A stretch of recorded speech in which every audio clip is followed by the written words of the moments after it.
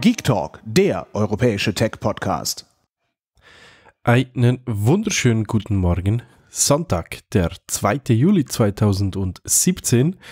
Heute nochmals ich, Martin Pogipsi Rechsteiner, und das hat einen Grund, denn ich habe euch versprochen, noch einen Wettbewerb auszuliefern und der kommt jetzt endlich. Es hat noch ein bisschen gedauert, nicht alles ganz so geklappt wie gewollt, aber ein paar äh, hübsche Dinge sind dann doch zusammengekommen. Doch davor habe ich weil es gerade passt, noch zwei, drei Newsmeldungen. Zum einen geht es um Pong, es geht um Sony, es geht um Apple, es geht um Fake Tweet Verification und Dubai Polizei. Ja, beginnen wir gleich beim allerersten. Für all die Besitzer des neuen oder moderneren MacBooks, dem aktuellen MacBook Pro besser gesagt, sagen wir so in einfach, das mit der Touchbar, das kann jetzt auch Pong. Wer das haben möchte, Achim, Jan, ihr habt doch so ein Teil? Spielt doch mal ein bisschen Pong. Ich würde gerne wissen, wie das ist. Das zweite, bei Sony gibt es wieder mal Ärger. Es ist nicht so, dass das PlayStation Network wieder gehackt wurde, aber äh, anders unschöne Neuigkeiten. Denn Kunden, die das PlayStation Network, also sprich die, die monatliche Fee oder die jährliche Fee mit über PayPal bezahlen wollten, die wurden ähm, ja ausgesperrt, weil PayPal in dem Sinn Spam und Tschüss. Schade, doof gelaufen. Äh, Sony bitte nachbessern und später ein bisschen mehr aufpassen. Bei Apple ist zumindest derjenige Manager, der unter anderem im AR-Kit unterwegs ist, ziemlich überrascht, was bis anhin jetzt schon passiert ist mit dem AR-Kit. Aktuell ist es nur zugänglich für die ganzen Entwickler und die, all die Leute, die sich die Beta installiert haben. Und ähm, ja, da hat es ja schon einiges gesehen mit dem Lineal und all den möglichen Geschichten. Wir dürfen gespannt sein, was da noch alles kommt. Im Herbst ist ja dann soweit. Bei CNN ist man ganz seriös und deshalb, wenn man schon eine News basierend auf einem Tweet bringt, dann aber ganz klar nur vor Menschen, die auch Verification, also wie sagt man, zertifiziert, verif verified sind. Jetzt ist es gegangen.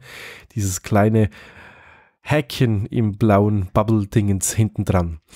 Der junge Herr Mikko Hypon, Hyponen hat einen Tweet rausgehauen, dass das iPhone quasi zehn Jahre alt ist und bis jetzt noch nicht einmal von Malware und anderen lustigen Dingen ähm, belästigt wurde und dass man dafür eigentlich Apple gratulieren sollte. Das Tweet wurde x-mal geretweetet, geliked etc. Und ja, das nahm CNN als Basis für eine Newsmeldung oder in eine Newsmeldung besser gesagt. Und damit es eben sympathischer oder besser gesagt, ähm, ja, äh, wichtiger aussah, hat man dem jungen Herrn einfach ein Häkchen hinten dran gemacht. Ziemlich unschön, aber ja, Fake News. Oder wie war das? Nee, andere Geschichte. In Dubai ist bald ein kleines Wägelchen unterwegs. Ist so ein zerdrückter Smart, also nochmals kleiner als der, mit ganz viel Technik ausgestattet, unter anderem obendrauf Kamera und äh, Gesichtserkennung, Biometrie etc. Heißt, das Teil fährt rum, wenn ein Bösewicht äh, vor die Flinte äh, Kamera gekommen ist, wird der auch ähm, erkannt, dank den ganzen Systemen, die da on board mit drauf sind und wenn der junge Herr oder die Dame dann flieht, ja, dann öffnet sich so ein Seitenfach vom Auto und es geht eine Drohne los und verfolgt diesen. Ja, wenn man das Ganze jetzt noch mit den ehemaligen Google-Robotern verknüpft, kommt da wieder ein bisschen dieses Angstgefühl auf. Aber ja, sollte nicht. Hoffen wir, dass das nur im Guten ist. Aber kommen wir jetzt zum Wettbewerb, den ich angekündigt habe. Wir haben 150 Jahre 150 äh, Folgen vom Geek Talk Daily äh, diese Woche geschafft und daher möchte ich meinem Team gratulieren, dem Achim und den Jan für die ganzen vielen tollen Sendungen. Aber auch euch, liebe Hörer, möchten wir uns ganz stark bedanken dafür, dass ihr mit uns so viele Stunden verbracht habt und die ganzen Newsfolgen euch jeweils anhört. Und aus dem Grund haben wir einen kleinen Wettbewerb ausgerufen. Das heißt, haben wir äh, in Eigenregie von meiner Seite passiert. Die beiden Jungs werden sicherlich überrascht sein. Ähm, bis und mit dem 5. Juli läuft dieser Wettbewerb. Was ihr tun müsst, ist ganz einfach ist die jeweilige Folge, sprich die heutige, aber auch diejenige bis zum 5. Juli, mit einem Retweet versehen, sprich das Ganze ein bisschen zu teilen und oder uns eine Mail zu schicken. Das Ganze darf natürlich nicht nur von der heutigen Sendung oder einer der einzelnen, die ihr euch nachfolgend anhört, sondern darf ruhig von allen Sendungen sein, so wie ihr mögt und lustig seid.